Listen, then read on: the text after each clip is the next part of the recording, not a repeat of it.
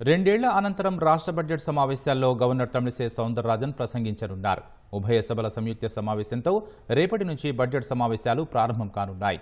వార్షిక బడ్జెట్ను సోమవారం ప్రభుత్వం ప్రవేశపెట్టనుంది. సమావేశాల కోసం ఇప్పటికే సన్నాహకాలు పూర్తి చేశారు.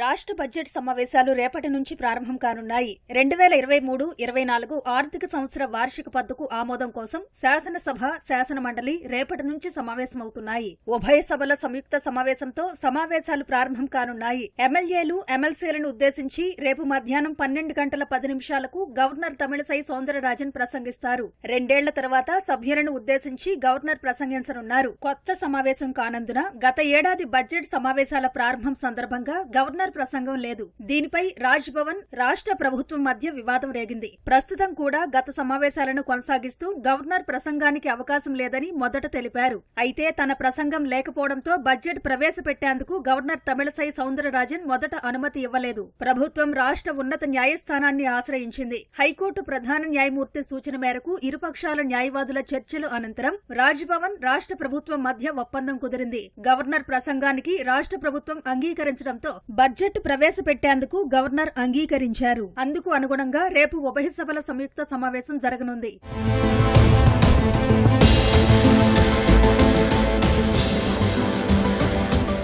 రేపటి కోసం బడ్జెట్ ప్రసంగాన్ని రాష్ట్ర ప్రభుత్వం ఇప్పటికే రాజ్భవన్కు పంపింది. అయితే దానికి గవర్నర్ ఇంకా ఆమోదముద్ర వేయలేదన్న ప్రచారం ఉంది. అటు సమావేశం నిర్వహణ కోసం సన్నాహకాలు పూర్తి చేశారు. సీఎస్ వివిధ శాఖల అధికారులు పోలీస్ అధికారులతో మండలి చైర్మన్ గుత్తా సుఖేందర్ రెడ్డి శాసన సభాపతి పోచారం శ్రీనివాసరెడ్డి శాసనసభ వ్యవహారాల శాఖ మంత్రి ప్రశాంత్ రెడ్డి సమావేశమయ్యారు. సమావేశాల నిర్వహణపై అధికారులకు ఆదేశాలు జారీ చేశారు. ప్రభుత్వ పరంగా వివిధ శాఖల నుంచి ఇవ్వాల్సిన సమాధానాలు సమావేశాల సన్నద్దతపై అధికారులతో పురపాలక శాఖ ప్రత్యేక ప్రధాన కార్యదర్శి అరవింద్ కుమార్ సమీక్ష నిర్వహించారు.